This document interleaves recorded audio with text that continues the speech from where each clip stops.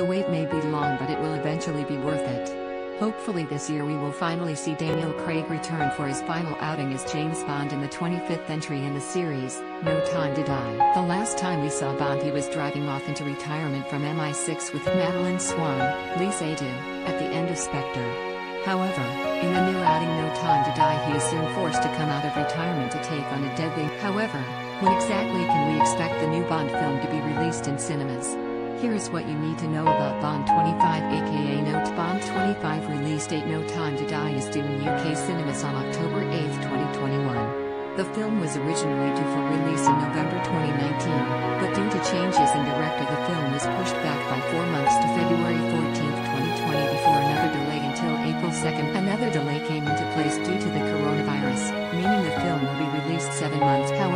it delayed until 2021 once more due to the COVID-19 pandemic.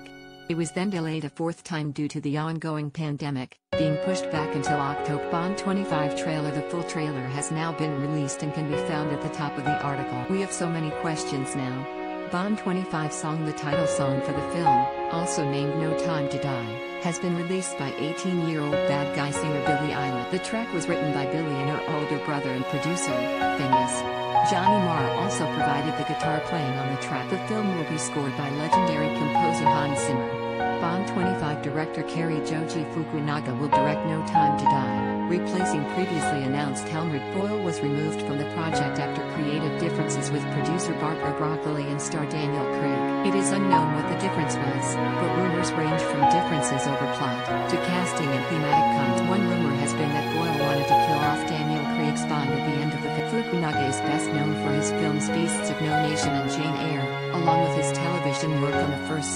True Detective and Netflix drama Maniac. Bond 25 cast Daniel Craig as James Bond. Craig returns for his fifth and final outing as Bond, who is now retired and living alone in Jamaica. Five years after defeating Blofeld during the event No Time to Die will see Bond thrown back into trying to save the world from a dangerous new threat and reunite with old allies, old foes, and an old flame. Rami Malek is Safin Bohemian Rhapsody star and Oscar winner Rami Malek portrays Bond villain. So he is a dangerous new adversary who is set to get under Bond's skin, but some fans are convinced that he is actually a classic Bond villain. Safin is also a face from the past for Bond's old flame, Madeleine. Léa Seydoux Madeleine Swann the leading lady from Spectre will return for the sequel film. Bond was last seen driving off in his Aston Martin DB5 with her after rescuing her from Ernst Stavro Despite having found happiness, it seems Bond was betrayed by Madeleine as they both come under attack. Having split, they are reunited as Madeleine's past returns to haunt her and James in the former. Will they find love again? Lashana Lynch's Nomi Captain Marvel star Lynch will play a character named Nomi in the Nomi works for MI6 and helps Bond on his mission having apparently taken up his code name of 007 since his retire. However, Nomi is a very modern woman with her own skill set and it seems that she won't get along with Bond straight away. Ben Whishaw as Q the Gadget Man will be back to help 007 in another film.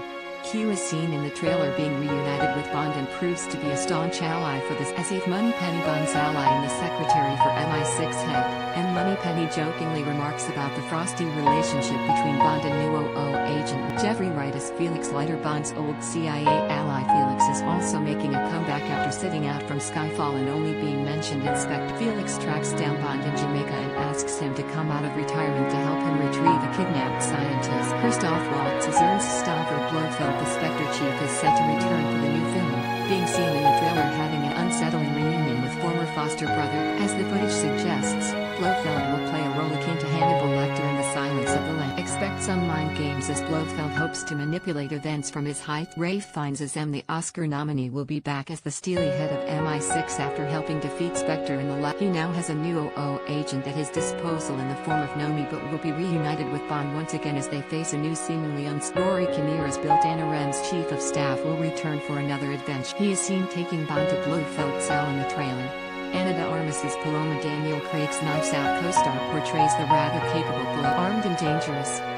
Fatale Paloma is a CIA agent and ally for Bond in Cuba as he looks to retrieve the kidnapped scientist for Felix. David Dencik as Valdo Obruchev the girl with the dragon tattoo star portrays the scientist whose disappearance is investigated by Bond and the CIA, which leads Bond, Nomi, and Paloma to try and retrieve him in Cuba. Dali Benssalah as Primo Primo is a soldier and adversary that Bond encounters first in Matera, Italy. Billy Magnussen as Logan Ash the game Night Star portrays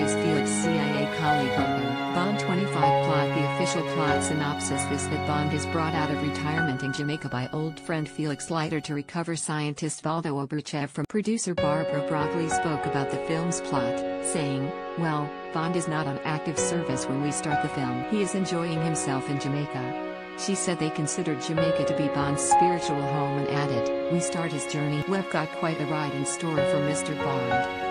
However, when Felix Leiter requests Bond's help in tracking down a missing scientist, Bond springs back into action and returns to the fold of MI6 and has a reunion with both Blofeld and estranged lover Madeleine, whose past seems very key to the plot. Will Bond ever be able to get past the death of Vesper Lynd and find happiness with Madeleine?